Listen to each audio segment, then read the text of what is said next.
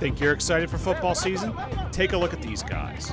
They will go down as the first football team at St. Charles High School and are ecstatic to have the opportunity. Truly, we're real excited because it's that's the St. Charles High School, it's a new program, and we're like we try to we strive to be the best. You set the tone for school history. It's a brand new school. I mean, you're setting the tone. I'm just blessed to be here. The man leading these players knows a thing or two about coaching good football teams. Avery Williams takes over after serving as head coach at T.C. Williams High School in Alexandria. It is obviously a coach's dream to be in a position to be able to build something from the ground all the way to the top and, and leave a strong tradition and history or heritage for those that come behind us. The players are hungry to taste victory this season. They are also eager to establish a reputation and definition of Spartan pride. It means you're strong, you're dedicated, and you don't give up at all. Fight to the last man, last breath. Becoming somebody that everybody would just be amazed to look at. The football IQ for the kids that we have out here is extremely high. I think that uh, if we continue to move forward at the pace that we are now, we're going to be very successful this season. One, two, three!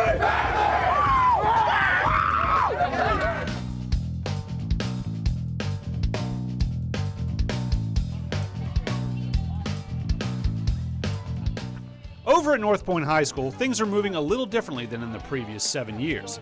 That's because the Eagles have a new head coach. His name is Tom Petrie. It's, it's been phenomenal so far. I mean, he brought a lot of different energy and vibes to the team. We're doing a lot more team bonding and actually coming together as a real family and actually uniting, all have a common goal and mindset towards the season. Not much will change under Coach Petrie. North Point will still want to be known for playing physical, tough, fundamental football. One area that will be different is on offense, as the Eagles will run a spread style of offense you see in college football. It's just kind of evaluating the talent that we have, evaluating the skill players we have, and trying to put them in the best position in order to win football games. I get to have a lot more control of offense and everything, make more checks and reads, make more uh, plays. After being a perennial championship contender, last year's team missed the playoffs. The Eagles know they can be better and expect to do great things this year. Six and four is not a spot where we want to be at. And we said in the offseason it was about discipline, effort, toughness, commitment, and pride. And we know that, that if we if we buy into those ideals, six and four is not going to be where we're going to keep standing. We've changed a whole bunch of stuff with strategy and just the way we're looking at things, and we're taking the season like by storm.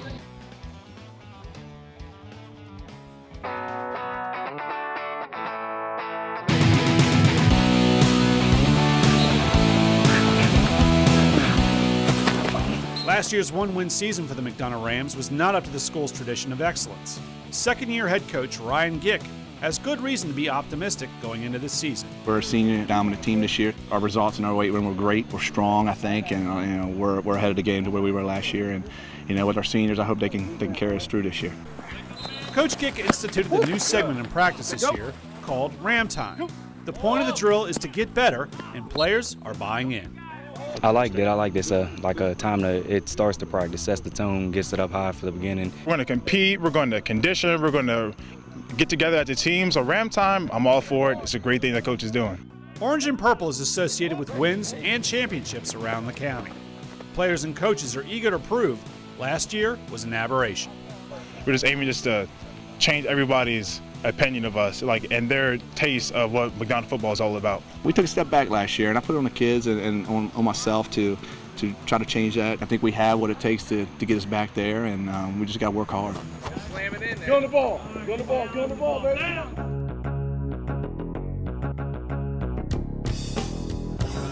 Here we go, team. Let's full go, guys. Let's go. The La Plata Warriors should be a fun team to watch this season.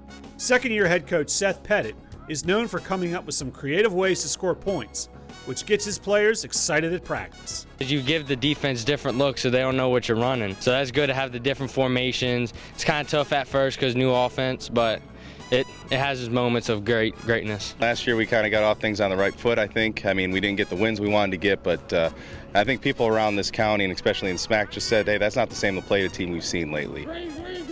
Coach Pettit believes his offensive line has improved vastly from last season. If the line plays well, the Warriors have a lot of players on this year's team who can make big plays, led by Jack Pilkerton. One of my strong points, like I can I can be split out wide in the slot, tight end, and maybe in the backfield, and it's hard for coaches to uh, prepare for that. Friday night, he he just goes into a different type of attitude, a different type of mode that just you can't control him. I mean, he just says, "It's my ball. I'm going to take that ball and I'm going to run all over you with it."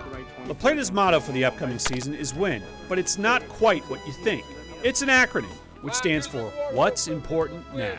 A lot of people don't really believe in us, and you know, we're trying to go out there and prove people wrong that we are a football team to come out and watch. Seniors last year and seniors this year want to come back years from now and say we were the beginning of something great.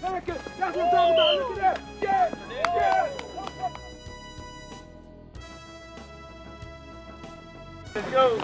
We need five lines right here. Five lines right here. Let's If you want to see how a team goes from two wins in five years to a team to be feared, head over to Thomas Stone High School. The Cougars are in year three of the Paul Frill era and like where they're heading. Yeah, we're just excited. Excited. You know, we just did a lot of big things last year. You know, came up short a few games, and uh, we just knew we should have had them. So we're just coming back hungry. We're excited about it. The kids are kind of in the system now. They've they've been in it a couple years. It's not kind of how do we get through practice. It's what can we get out of practice. Thomas Stone will continue to attack teams on offense using the triple option. The Cougars have a number of players who can make big plays, led by Clemson bound Jawan Briscoe.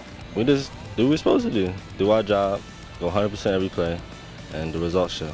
He's actually not the only one. That's what makes it nice for him because you can't just focus on him. Same with, you know, Chad and, and Trey and Bundy. All those guys could score if you're not paying attention.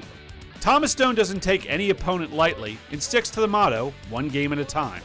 At the same time, the Cougars have lofty goals for this season. It feels great, you know, just being known as a team that was uh, that brought Stone back. Everybody wants to make the playoffs. That's the biggest thing. You know, making the playoffs a success because now it's anybody's game. And that's where we've come up short, and that's where we need to be. One, two, three.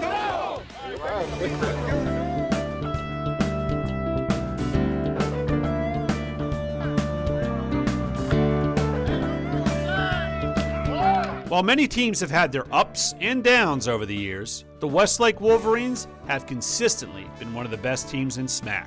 The Wolverines have made the playoffs for 21 of the 23 years the school has been open. Grown up in the area, watching Westlake and the guys who have gone on, you know, to different aspects of professional football, they know that you know we're kind of a no-nonsense program, and we want to get after it and play the game the way it's supposed to be played. There is a special pride to wearing the teal and orange.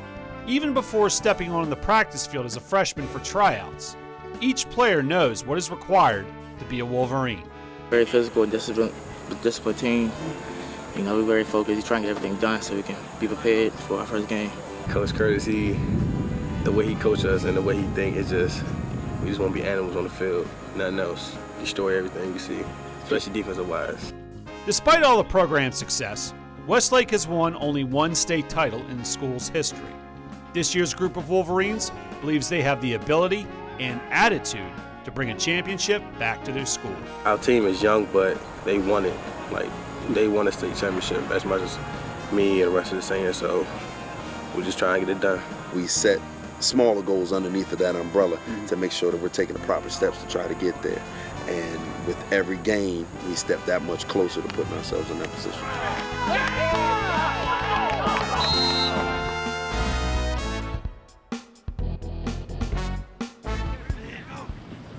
Was always a lot of enthusiasm during practice at Lackey. The Chargers are even more pumped up after going 9 3 last season and winning a playoff game. The team is working hard to keep the momentum rolling. We got a lot of energy coming from last season, trying to put in the same effort we did last year, keep the uh, keep our record the same or, or better if not. I mean, most people think it's over, but we're going to come out stronger and better than last year. 26 seniors are on this year's team. They were all freshmen when John Lush took over four years ago. They have grown together and are proud of what they have accomplished as a group. When I took over four years ago, I talked about changing the culture. And really, you know, my thing is in high school, it's all about getting really close. And this group has bought into that hook, line, and sinker. Coach Lush really changed this program because I remember when Lackey used to be like the bottom of the list of everything. Now we being hunted by everybody in every school in the state. As Coach Lush has told them, this group of Chargers has gone from the beginning stage to the competitive stage to the winning stage. Players can't wait for what's next. You know, whether that's a, a championship step, you know, that, that's what we're going to work towards. But you know, we got to put in work every day. We lost the hundred town regionals. You know, we working back. You know, that's a chip on our shoulder. We got to go get it. So you know, RTD is our little motto this year: return to dominance. Good. Inside. There you go. There you go.